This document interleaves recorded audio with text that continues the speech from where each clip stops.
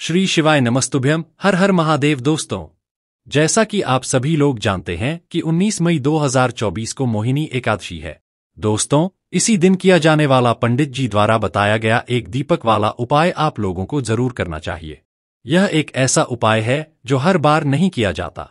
यह दिन इतना खास और महत्वपूर्ण होता है कि बड़े बड़े पूजा पाठ और अनुष्ठान से जो मनोकामना पूर्ण नहीं होती है, वह एकादशी के दिन एक छोटे से उपाय करने से ही पूर्ण हो जाती है। बहुत सारे लोगों ने इस उपाय को किया है और उनको इसका फल भी मिला है। अगर आप लोग भी इस उपाय को मोहिनी एकादशी के दिन करना चाहते हैं तो पहले इसे अच्छे से समझ लें और फिर करें।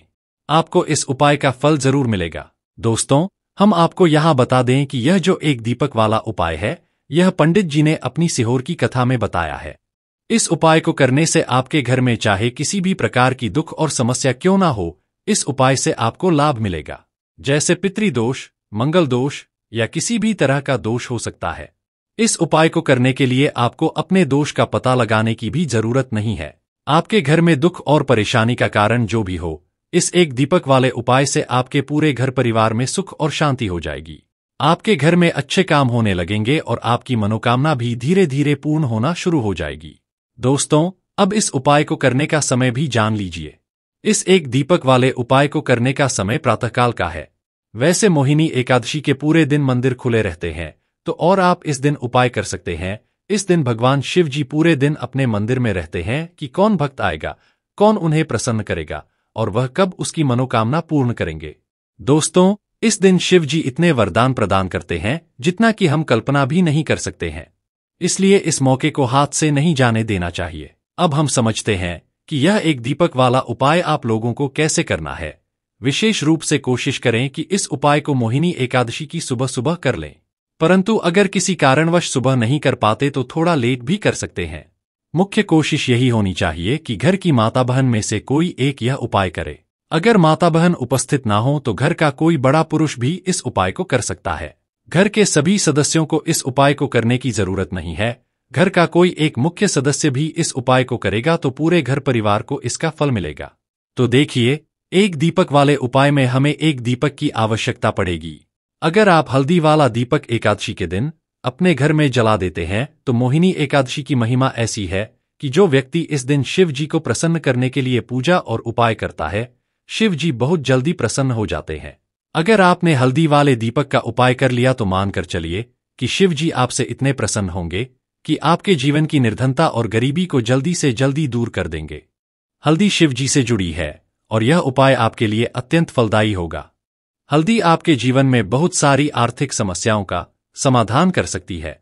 अगर आपके घर में पैसा नहीं आता, पैसा रुकता नहीं है या बहुत ज़्यादा खर्च होता है तो आपको विशेषकर यह हल्दी वाले दीपक का उपाय एकादशी वाले दिन ज़रूर करना चाहिए।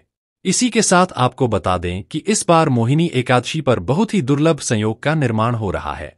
शिव जी को जल्दी प्रसन्न करना चाहते हैं और अपने घर की गरीबी को जल्दी दूर करना चाहते हैं तो आपको यह पहला उपाय एकादशी के दिन करना चाहिए। उपाय करने के लिए आपको कुछ चीज़ें लेनी होंगी और सही समय पर यह उपाय करना होगा। उपाय करने के लिए आपको लेना है एक चुटकी काला तिल, एक चुटकी पिसी हुई हल्दी। अब आपको करना यह है कि नहाने वाले जल में एक चुटकी हल्दी और एक चुटकी काला तिल डालें। इस जल से स्नान करें। जब आप एकादशी के दिन इस जल से स्नान करते हैं तो इससे आपके जीवन में भाग्य का साथ मिलने लगता है। पैसे आने के रास्ते खुल जाते हैं और गरीबी दूर होती है। आपकी कुंडली में गुरु की स्थिति मज़बूत हो जाती है, जिससे आपको हर काम में लाभ मिलता है। यह पहला उपाय है, जिसे एकादशी के दिन ज़रूर करें। दोस्तों, दूसरा उपाय जानने से पहले अगर अभी तक आपने हमारे चैनल निस्वार्थ ज्ञान को सब्सक्राइब नहीं किया है तो कृपया कर लीजिए और ऐसी ही वास्तुशास्त्र से संबंधित वीडियो देखने के लिए वेल आइकन को प्रेस अवश्य कर दें। जिससे हर वीडियो की नोटिफिकेशन सबसे पहले आपके पास पहुँचे।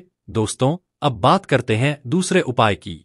इस उपाय से आपकी सारी अधूरी मनोकामनाएँ पूरी हो जाती हैं। अगर कोई भी इच्छा अभी तक पूरी नहीं हो रही है तो आपको शिव जी को प्रसन्न करना है और यह उपाय एकादशी के दिन करना है। दूसरे उपाय के लिए आपको लेना है तुलसी की लकड़ी। अगर आपके घर में तुलसी का पौधा सूख जाता है तो तुलसी की टहनियों को छोटे छोटे हिस्सों में तोड़ लें। आपको इन टहनियों को एक लाल कपड़े में रखना है। दो, पाँच या ग्यारह टहनियाँ ले सकते हैं, लेकिन ग्यारह की संख्या में लेना उत्तम है। अब आपको यह करना है। लाल कपड़े के अंदर इन टहनियों को रखें और एक छोटी सी पोटली बना लें।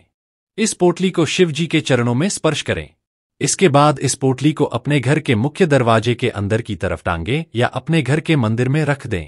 जब भी आप तुलसी की टहनियों को अपने घर में रखते हैं और शिव जी से प्रार्थना करते हैं तो आपकी मनोकामनाएँ पूरी होती हैं। गरीबी और निर्धनता आपके जीवन से दूर हो जाती है और आपके घर में सुख समृद्धि आती है। जब भी आप तुलसी की लकड़ी का यह छोटा सा उपाय एकादशी के दिन करते हैं तो एक चीज़ आपको बिल्कुल ध्यान रखनी है कि अगर तुलसी का पौधा आपके घर में सूख गया है तो आपको एकादशी के दिन उसकी लकड़ियों को नहीं निकालना है। क्योंकि एकादशी के दिन तुलसी की पत्तियों को भी नहीं तोड़ा जाता है। यह विशेषकर ध्यान में रखना है। पहले से ही अगर आपके पास तुलसी के पौधे की टहनियाँ हैं, तभी यह उपाय करें। दूसरी बात, जिनके घर में तुलसी का पौधा हरा भरा है, उन्हें तुलसी के दो पत्ते लेने हैं। जब भी आप शिवजी को भोग लगाते हैं तो एकादशी के दिन विशेषकर तुलसी के दो पत्ते शिवजी के भोग में अर्पित करने हैं। किसी भी स्थिति में इस दिन चावल नहीं खाना है, और न ही चावल का भोग किसी देवी देवता को लगाना है। चावल खाने से इस दिन महापाप लगता है, इसलिए यह गलती नहीं करनी है। जब आप तुलसी के दो पत्ते शिवजी को अर्पित करते हैं तो इससे शिवजी बहुत प्रसन्न होते हैं और आपके जीवन के सभी दुख दूर कर देते हैं। अब बात करते हैं एक चुटकी हल्दी डालकर दीपक लगाने की विधि के बारे में। हल्दी वाला दीपक। सबसे पहले एक चुटकी हल्दी लें। इस हल्दी को दीपक में डालें। इस दीपक को अपने घर के पूजा स्थल पर जलाए। हल्दी आपके जीवन में बहुत सारी अच्छी चीज़ें लेकर आती है, जैसे कि पैसे को बढ़ाने का काम करती है और आपके घर में धन आने के स्रोत खोलती है, शिवजी इस उपाय से इतने प्रसन्न होते हैं कि आपके जीवन की निर्धनता को दूर कर देते हैं और माँ लक्ष्मी की कृपा आप पर बरसती है। इससे आने वाली सात पीढ़ियों को भी धन की कमी नहीं होगी। इस उपाय को ज़रूर करें और अपने जीवन में सकारात्मक परिवर्तन देखें। धन आने का रास्ता अगर आपके घर में बंद हो रहा है तो उसे हल्दी का यह उपाय खोल देता है। आपके घर की नकारात्मक ऊर्जा बुरी शक्तियाँ इन सबको हल्दी दूर कर देती है। जहाँ पर हल्दी होती है, वहाँ पर ये सारी चीज़ें नहीं रहती हैं। हल्दी शिवजी से जुड़ी है, इसलिए शिवजी आपसे तुरंत प्रसन्न हो जाते हैं, जब भी आप हल्दी का कोई उपाय करते हैं। उपाय करने के लिए आपको पिसी हुई एक चुटकी हल्दी लेनी है और इसे शुद्ध देसी घी के दीपक में डालनी है। गोल बाती लगाकर इस दीपक को तैयार करें। अब सवाल है कि यह दीपक कहाँ पर लगाना है? अगर आपके घर में तुलसी का पौधा हरा भरा है तो इस दीपक को तुलसी के पौधे के पास लगाएँ। अगर आपके घर में तुलसी का पौधा नहीं है या सूख गया है तो आप यह दीपक मंदिर में भी लगा सकते हैं। अगर आपके घर के आसपास कोई मंदिर नहीं है तो यह दीपक अपने घर के मंदिर में लगाएँ। जब आप हल्दी का दीपक शिवजी के सामने या तुलसी के पौधे के पास लगाएँगे तो आपको शिवजी का एक मंत्र ग्यारह बार बोलना है। यह मंत्र है, श्री शिवाय नमस्तुभ्यम। अगर आप यह मंत्र याद नहीं रख पाते हैं, या नहीं आता है तो आप श्री हरि विष्णु का स्मरण कर सकते हैं और दीपक जला सकते हैं। बस इतना ही करना है। इस उपाय से आपके जीवन की निर्धनता बहुत जल्दी दूर हो जाएगी।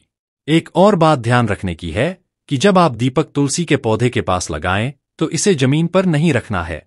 थोड़ा सा फूल की पंखुड़ियाँ या कोई प्लेट रख लें। चावल एकादशी के दिन दीपक के नीचे नहीं रखना है, क्योंकि चावल का उपयोग एकादशी के दिन नहीं करना चाहिए।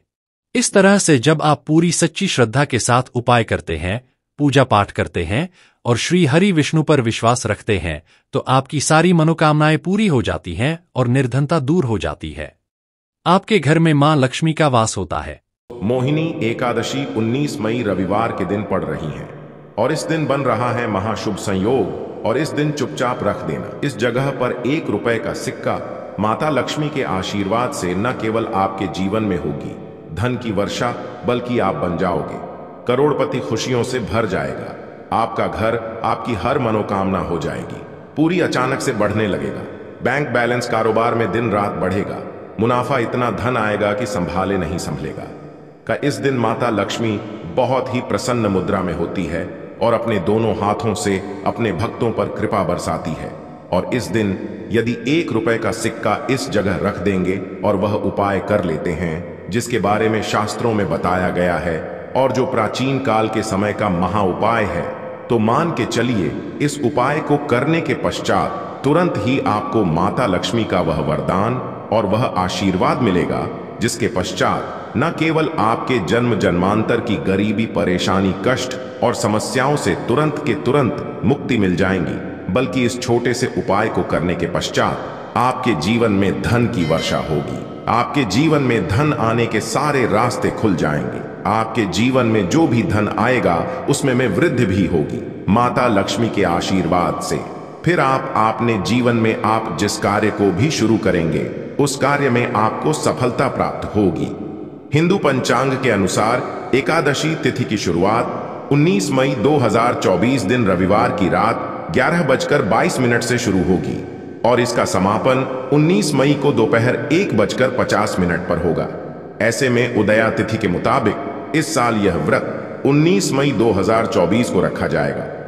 अब आप बार बार सोच रहे होंगे कि एक रुपए के सिक्के का उपाय करके आपको माता लक्ष्मी का आशीर्वाद कैसे मिल सकता है? तो आपकी जानकारी के लिए बता दें, माता लक्ष्मी की पूजा को जब भी शुरू किया जाता है तो एक रुपए के सिक्के को रख करके पूजा को शुरू किया जाता है। देखिए, होता क्या है? प्राचीन मान्यताओं के अनुसार, माता लक्ष्मी की जब भी पूजा शुरू की जाती है तो मुद्रा का जो भी पहला सिक्का होता है, वह रखकर ही पूजा को शुरू किया जाता है।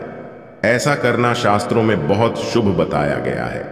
ऐसा समझा जाता है कि धन में माता लक्ष्मी का वास होता है। इसीलिए माता लक्ष्मी की पूजा को सदैव छोटी मुद्रा से शुरू करना चाहिए।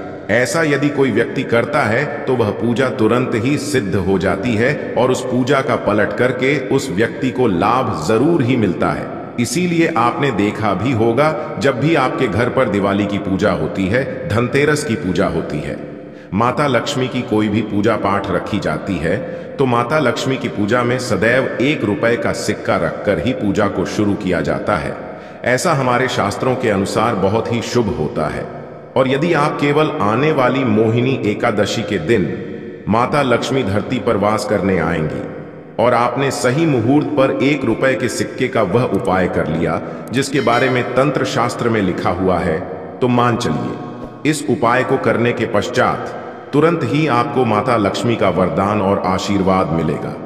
दोस्तों, यह उपाय आपको इसी तरह से सही मुहूर्त पर करना है। और आज के दिन कई करोड़पति व्यक्ति जो है, साल की हर एक एकादशी के दिन यह उपाय करते हैं। इस दिन माता लक्ष्मी धरती पर वास करने आती है। यदि आपने यह कर लिया तो माता लक्ष्मी के आशीर्वाद से आपके जीवन में धन की वृद्धि होने से कोई भी नहीं रोक पाएगा। दूसरा उपाय है शुक्र ग्रह को मज़बूत करने का महा उपाय है। दोस्तों, यदि आपके जीवन में आप बहुत मेहनत करते, बहुत परिश्रम करते हैं, परंतु आपको उसका फल नहीं मिलता, आपके पास पैसा तो आता है, परंतु बेफिजुअल खर्ची में उड़ जाता है तो इसकी मुख्य वजह क्या है?